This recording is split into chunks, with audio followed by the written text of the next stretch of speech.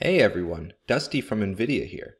Today we're going to code real-time object detection in Python from a live camera stream running on Jetson Nano, NVIDIA's $99 AI computer for deep learning inference and computer vision. Jetson Nano is NVIDIA's smallest and lowest power embedded system and has an integrated GPU on board with 128 CUDA cores and half a teraflop of performance and 5 to 10 watts of power that's easy to use and runs lots of different neural networks from popular machine learning frameworks like TensorFlow, PyTorch, and Caffe, and a full Linux desktop with graphics acceleration. The Nano is a complete computer with a quad-core ARM CPU, 4GB of RAM, the CUDA GPU, dedicated 4K video encoder and decoder, and lots of I.O., including hardware offloaded camera capture, four USB 3 ports, PCI Express M.2, gigabit Ethernet, a micro SD card slot, and the typical low-level interfaces like I2C, SPI, UART, and GPIO. Now, before we dive into the code, if you haven't already, let's get your Nano set up by following the Getting Started URL shown here. Or you can skip ahead a minute or two in the video if you already have it up and running. Out of the box, the dev kit includes a pre-assembled Nano Compute module, heatsink, and carrier board ready to be plugged into your typical connections like HDMI or DisplayPort, USB devices, and a 5 volt power supply. For the power supply, you can use a 2.5 amp micro USB charger or 5 volt 4 amp DC barrel jack adapter. Listed on the page are some recommended power supplies that work well. Next, you'll flash your micro SD card with NVIDIA's Jetpack image, which contains the Ubuntu OS along with the Linux for Tegra kernel and NVIDIA's tools like the CUDA toolkit and deep learning libraries like cuDNN and TensorRT. You can flash the Jetpack image to your SD card from a Windows, Mac, or Linux PC with the Etcher tool or similar, which are covered in the instructions here. Then, after plugging in an HDMI or DisplayPort monitor and USB keyboard or mouse, you can take the SD card and plug it into the SD card slot on your Nano. Plug in your power adapter and the Nano will boot up automatically. The first boot, you'll need to do some initial configuration steps for Linux to create a new user and set up your networking connection. So now onto the tutorial part of the video. Uh, we're going to be using a GitHub called Hello AI World, which the URL will be shown here and also in the description below. And this GitHub includes a number of different deep learning components for inferencing, which is the runtime component of deep learning after the network's trained, including image recognition, object detection, and semantic segmentation. The Hello AI world includes a runtime library in addition to a number of examples both in C++ and Python uh, that you can use to deploy your own applications.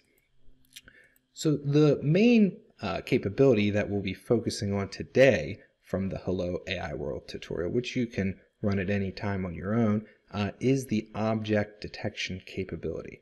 And the tutorial comes with a number of pre-trained networks that you can load on the Nano uh, that are downloaded when you download the repo.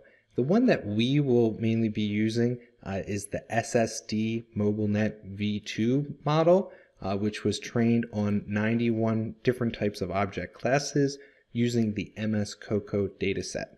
Uh, the SSD MobileNet V2 is the default model that's loaded, although there's a number of different ones that you can use as well.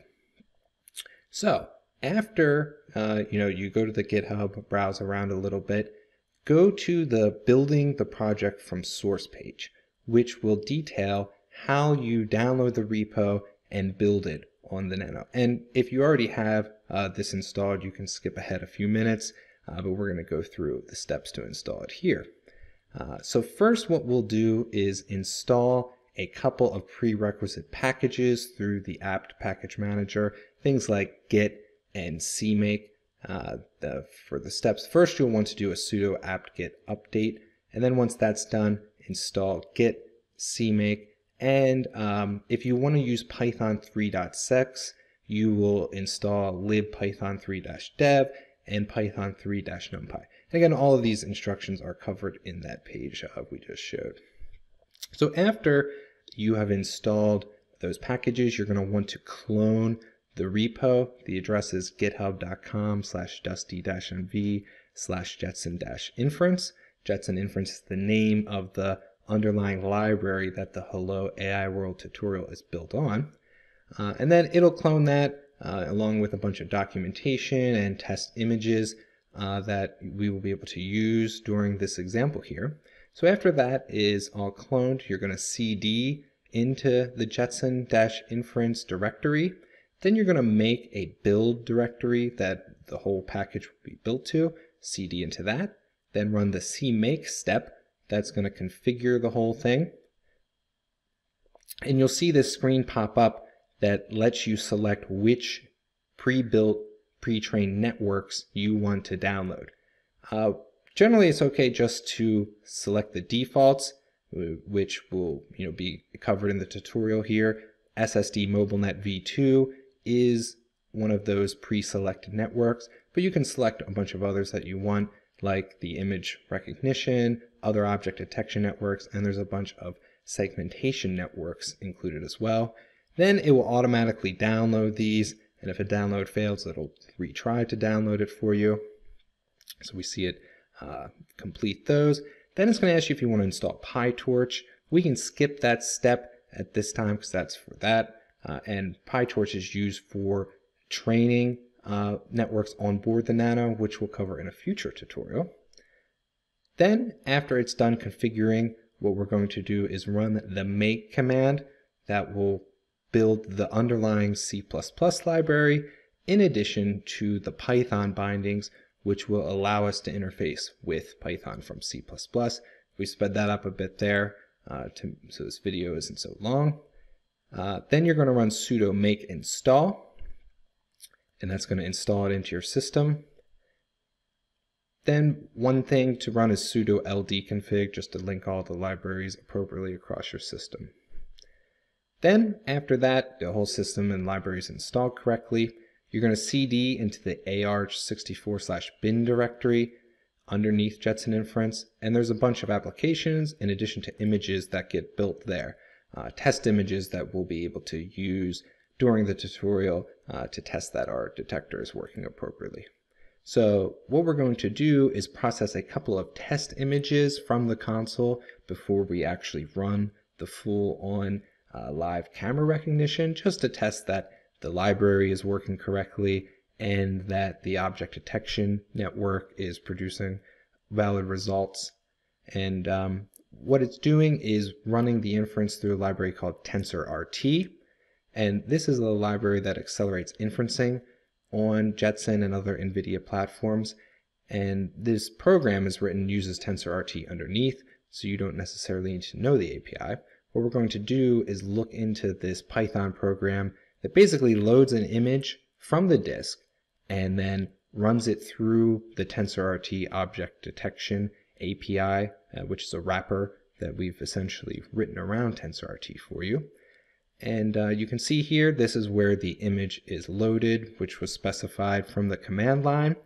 Then we create this DetectNet object from the Jetson inference library. That's what uses TensorRT underneath to get the real-time performance. Then we use a uh, net.detect function, which is a function that's implemented in the DetectNet object, and that returns to us a list of detections that have been returned from the image.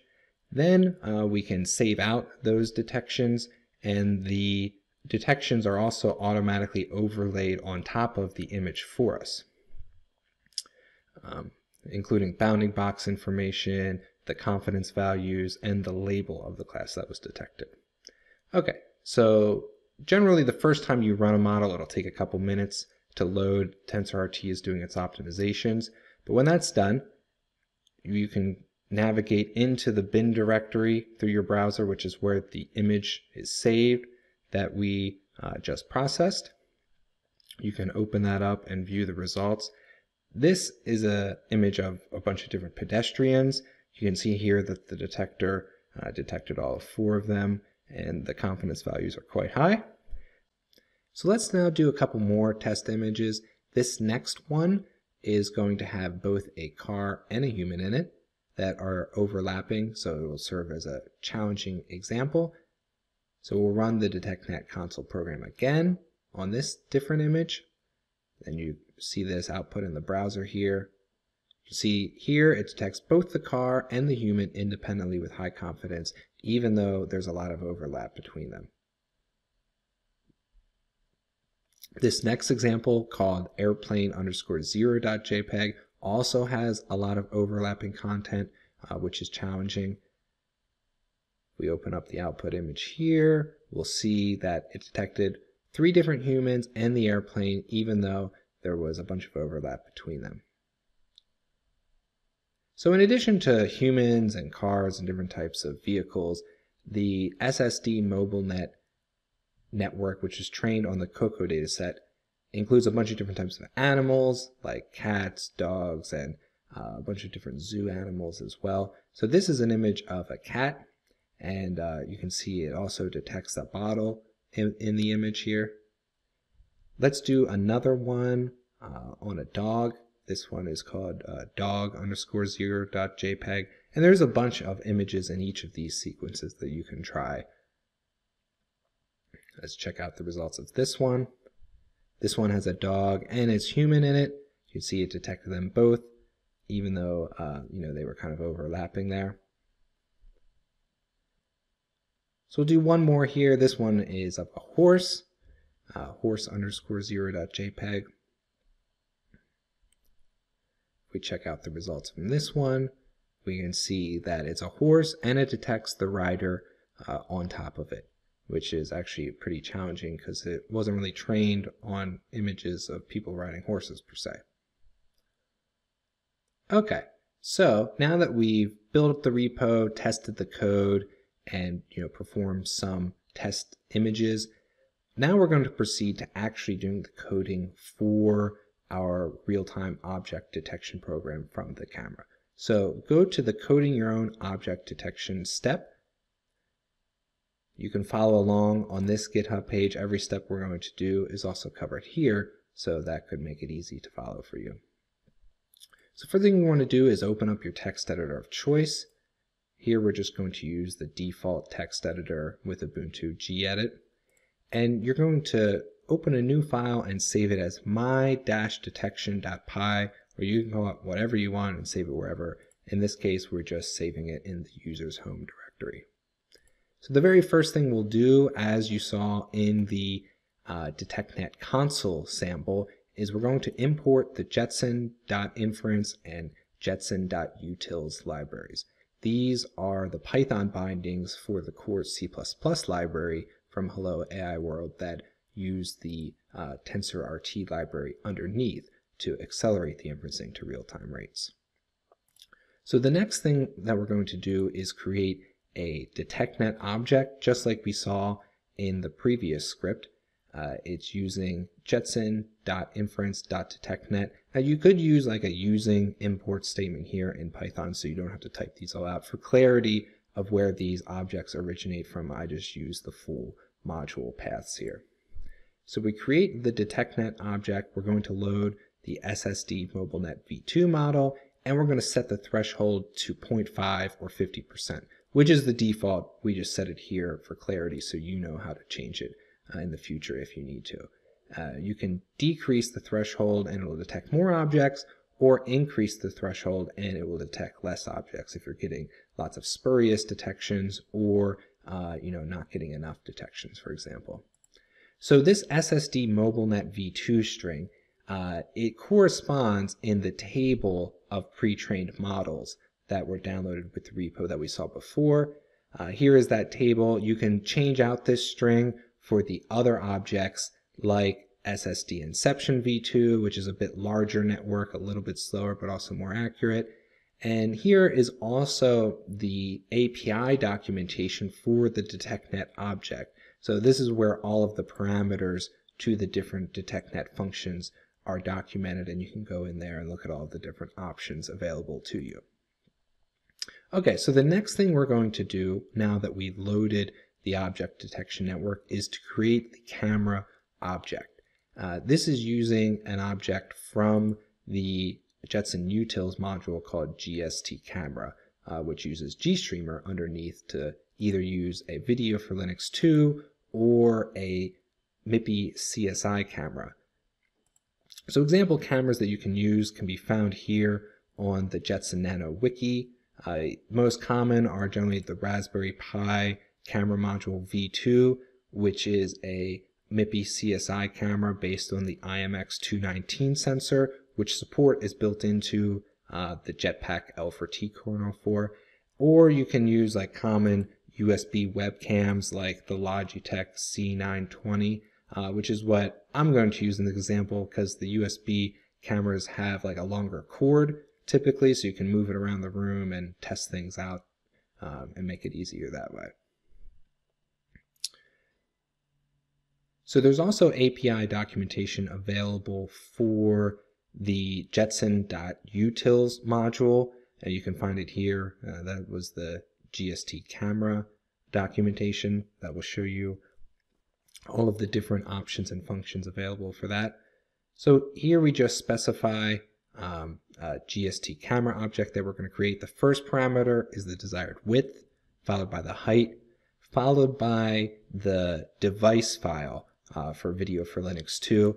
In this case, my camera is on dev video 1, uh, so you specify that here. Or if you're using a MIPI CSI camera, you will just uh, specify 0 or 1 or the index of the MIPI CSI camera. In general, uh, you will have one MIPI CSI camera plugged in, so it will be uh, 0.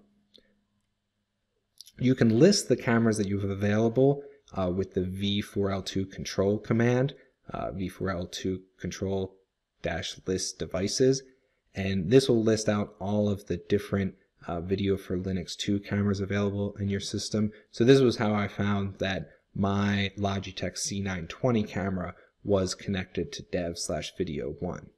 And then you can find which video formats are supported by using the list formats extended command, which will list all of the valid resolutions that you can set the camera to. Here's 1280 by 720 listed, which I've set uh, in the code, which is generally like a good resolution to, to set on these USB or MIPI CSI cameras. So next, we're going to create an OpenGL display window uh, for rendering the results of the overlay to. That's just using the jetson.utils.gl display uh, object, which is in that uh, documentation that we showed a minute ago. Next, we're going to create a main application loop, which is basically just going to loop forever until the display gets closed by the user. So we'll use this while display.isOpen function, which will return true if the display window is still open or false if it has been closed or exited by the user, which would then terminate the program. So the first command inside of the application main loop is uh, the camera capture uh, command, which will return the image along with its dimensions from either the video for Linux 2 or the MIPI CSI camera. And uh, this function will block until the next frame is available. Uh, if it's set to 30 hertz, for example, it'll wait until the system has received the next frame. Then it basically takes the raw format of the camera and converts it into floating point RGBA on the GPU uh, so that we're able to use it with the neural network. Next, we're going to use the DetectNet object to actually perform the detections. Uh, just like in the console example, it looks very similar. We just pass in the image along with its dimensions and it returns to us the list of detections. Here's the documentation for the detect function. It also takes in an optional string that specifies the format of the overlay, uh, which can be bounding boxes or labels or confidence values or any combination of those. By default, it will output the boxes, the um, confidence values, and the class labels all in the same image. So the list of detections that it outputs, each of those has a bunch of different members included in it, including the bounding box, uh, the confidence values, and the labels, and a bunch of different functions to use and manipulate uh, those detections. Those are all documented here in the code that you can use. So if you want to make your own custom program, you can interact directly with this list of detections. Next, what we're going to do is we're going to render the overlaid image out to the OpenGL window. We just use this display.renderOnce function, which signifies um, to the window that we're just going to render this one texture. So after we render that, um, you know, flip the back buffer so you don't have to manually make another call to do that. The last line in the program is we're going to update the title of the window to include the current performance. So we just do that with this uh, string formatting command here. And we're going to get the performance of the network via the net.getNetworkFPS function, which uses the internal profiling um, mechanisms to spit out the frames per second that the network's processing in. So that's it. It took all of 10 lines of Python code and we basically imported the modules, we loaded the network, we created the camera and the OpenGL display, and then we created our main loop, which captured the image, performed the detections, and rendered them out to the display. So now we can uh, run the application and play around uh, with it, detecting a bunch of different objects that you might have at your desk or in your household or in your office space. So CD your console back to where you stored the script. In this case, it was the user's home directory. Then you can launch it by running the python uh, space my-detection.py, which basically we're just going to load this script with Python. Then it's going to load the network like before. Okay, so here we go. It's detecting me and a desk chair in the background running at 22 frames per second. On the Nano, you can generally expect between 22 and 25 frames per second out of the SSD MobileNet V2 model on Nano. Uh, it also detects a bunch of different types of animals, uh, cats, dogs. If you have furry friends at home, you can play around with it. Uh, here's some other like zoo animals that it detects. An elephant, a bear, a horse. Funny enough, these are just little animal figures, but it detects them as the real object. Here are some uh, matchbox cars that it detects as real cars with high confidence values. Uh, as you can see, the transfer learning. And uh, it detects a bunch of different kitchen objects as well, cups, bowls that you might have around, including different stuff that you might have on your desk, like keyboards, mouse, displays, laptops. Uh, so here's looking at my dirty desktop. Um, here's the Nano that all this is running on right now. You can see I actually have a MIPI CSI camera attached too. Here's uh, a laptop that it's detecting on my workbench. And uh, I actually have another laptop that I use for training neural networks. So it can do a lot in real time on the Nano, all in that little script that we wrote. So that will conclude the object detection portion of the tutorial. But we hope that you follow the full Hello AI world, which includes image recognition and also segmentation. The image recognition portion will walk you through how you classify images with networks like GoogleNet or ResNet based networks. And like object detection, includes a bunch of pre-trained networks and you start by processing images from the console and then doing a similar live camera demo, both in Python or C++, uh, depending on your preference. Then uh, you can follow up with the semantic segmentation step, which is a lot like classification, except that it classifies at a per pixel level, and there's a bunch of cool pre-trained models that are included for that for things like self-driving or off-road robot navigation. This is the Cityscapes model, which is a popular semantic segmentation dataset. This is an off-roads trail dataset uh, that I was trained on called DeepScene. There's also this multi-human parsing model that's included uh, for doing things like pose estimation. And then one of the classic semantic segmentation datasets is called Pascal VOC, which includes 21 different types of objects. All of these models are actually 21 classes except for Deep Scene, which is 5. And then the final model is based on the Sun RGB dataset, which has a bunch of different indoor scenes from office spaces, homes, bedrooms, kitchens, and is like really cool if you're working indoors. So that's the Hello AI World tutorial. We'll be adding more features and hopefully doing more videos on Hello AI World, walking you through the steps. Uh, but you can also follow the tutorial at your own pace. So there are a bunch of other resources to help you get started with Nano here on the DevKit page, including a bunch of different projects that have come from the community, like the JetBot, which is an autonomous open source robot created around the Jetson Nano. Other ones like the Jet Racer, which is an RC race car that can be trained to be autonomous using the Nano, and a bunch of different projects that the community has contributed. So you can use those as inspiration how to apply your own applications to the Nano. If you need any help, there's also a community support forum for all of the Jetsons, including the Nano. You can find a link to it right here on your Jetson desktop. So thanks for joining us for the video. We hope that you'll try out the Hello AI World tutorial including a bunch of the other Jetson Nano projects available. And uh, have a lot of fun, and we'll see you next time.